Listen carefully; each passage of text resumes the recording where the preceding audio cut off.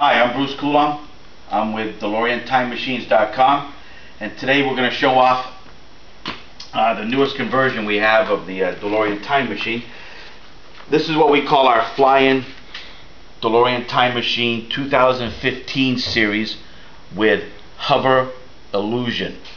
Um, the car is set up with all the normal gizmos from the movie inside and in the back but we also added some tires partial tires with special brackets and a hood so that the car will look like it's hovering. Now today we only have the one tire on there for the show but normally all four tires would have the exact same thing on there. But the car is getting ready to be transported out today. It's sold so we decided just go ahead and give you the effect by putting the one tire on. But first let's go ahead and we'll fire up the car with all the lighting effects and I'll explain things as uh, we go. Right here we have a Doc's radio, a replica of it that I made and it has a couple extra remotes. These are just extra remotes for convenience but the radio is not 100% replica but it looks close and it's what the customer wanted. But we have buttons connected here that I can activate the car with and all the different systems wirelessly. So here, like I'll show you now, we're going to turn the car on. Okay. You see things start lighting up. I can actually activate the flux bands.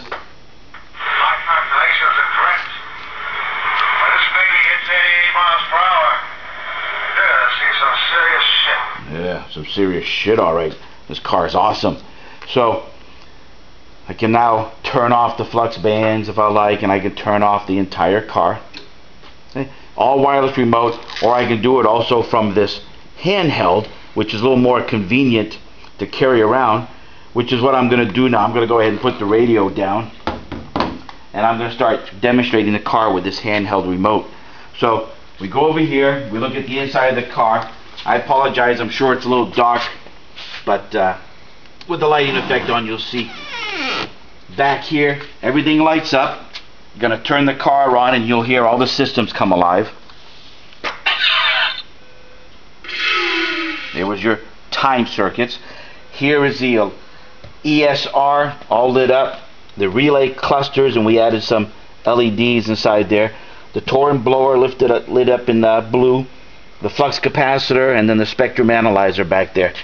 Then we have the Clair Electrosol auxiliary power supply. And let me put the seat back. Over here on the TFC, I can actually individually turn sections off. Like this one here will turn off the the uh, SID. I mean that's off. Put it back on. This one will turn off the rear bulkhead back here.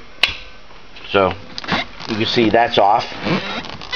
And put it back on. Then this will turn off the flux. Flux on, flux off.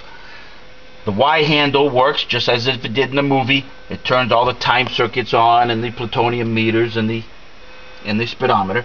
You turn the time handle off, everything's off. Turn the time handle on, everything comes back to life. Now, we also added a backup camera to the radio. So let me open it up and you'll see where we have a 7 inch LCD screen in order to see behind the car so when you're backing up. And we'll go to the camera section of it. There, Christopher, why don't you get a look at the uh, camera back there. Just zoom in on it and then zoom out. My son Christopher doing the uh, camera work for me. And I appreciate that. let's go ahead and close this so it's not in the way. Yeah, pretty cool. Goes back in. Okay, so there's that on you point over here, you'll see the hover illusion. The lights are glowing nice and blue, and all four tires will do that. Then I'm going to turn on the flux bands. Okay. Along with the sound chip that's been added to it. Then pan over here, Christopher, look at this stuff. Pan in here, and you see all these, all the props that come with the car all the detail we put into it with the medical heat sink, the AVID, the orange tube, the wormhole emitters all lit up in blue. Then over here we have the, the exhaust vents, and they're all given a special paint job of like it's been heated up. And the Mr. Fusion I get a kick out of. When we open the Mr. Fusion and you want to pretend to put all your garbage in there like Doc did, when you open it up you'll hear the suction sound. Hey, pretty cool. Close it. Open it. And close it back. Then over here we have the driver's side pontoon. Go ahead and scan this, Christopher. All these parts here and some of the parts in here. Now, not all these parts are 100% accurate.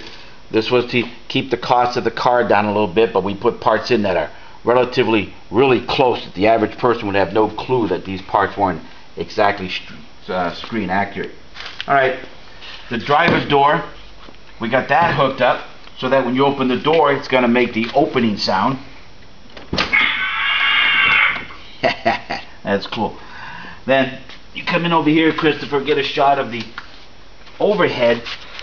Now the overhead we have lit up, and we have it so that the lights blink at random on and off, but I can speed up the lights, or I can slow it down. There's faster, and I can slow it down. And let's go back to the rate I like it at. Right about there. We have some rocker switches under here that will activate and deactivate, again, certain features on the car. Let me turn off the flux bands remotely. Flux bands are off. Now I can come over here and I can turn the switch on, or the driver can, and you get your flux bands on. Turn the switch, rocker switch, flux bands off. We have other ones for the hover. I have the exhaust lights in the back to where the fog comes out. It'll be all lit up in a nice, in a uh, white light. Then uh, we have neon underneath the car as well. That comes on, which I have now. And then over on the overhead, we have other switches that if you don't like it flashing, you can. It has three different patterns you can turn on and off individually. Right now, I have one pattern frozen, second pattern frozen, third pattern frozen. So you can have them all on just like in the movie, or you can go back to letting them flash at random. And then we have the emergency, Grimes emergency light comes on. We got an LED in there. Everything on here is LED because LEDs consume less power and we only need a 26 amp battery to power this. Here on the dashboard I have the uh, black power amps. They have little LEDs in them just to give it some life along with the uh, speedometer which will go all the way up to 88. You can bring it down to zero or wherever I want it we'll go right there at 71 and then again there's the uh, time circuits. Now again remotely I can turn everything off and then hit it again and you'll hear the startup sounds. And because the front door is open or the driver's door is open you're going to hear the sound of the door opening.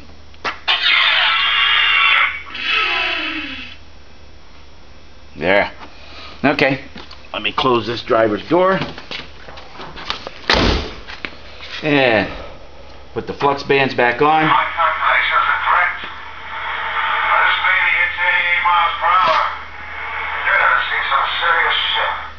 And we have another sound bite that's activated wirelessly. We have the ones for roads.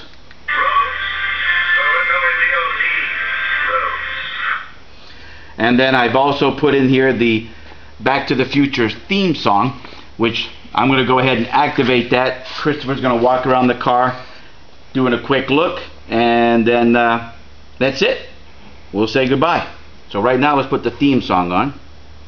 Christopher, you can walk around that side, look inside the vents, see the lights on in the vents.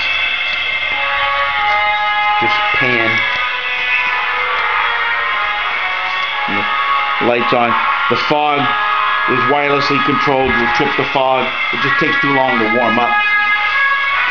Okay? Come along this side, look inside again.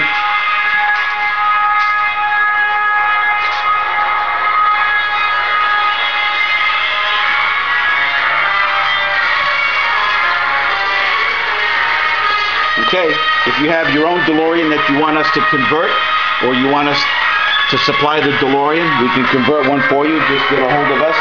Go to our website at DeLorean DeLoreanTimeMachines.com. Give us a call at 407-366-4387.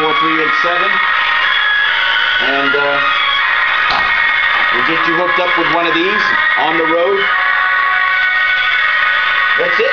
So thanks for tuning in. Until next time, I'm Bruce Coulombe. Don't forget to also look at our other website. It'll be uh, bttfprops.com.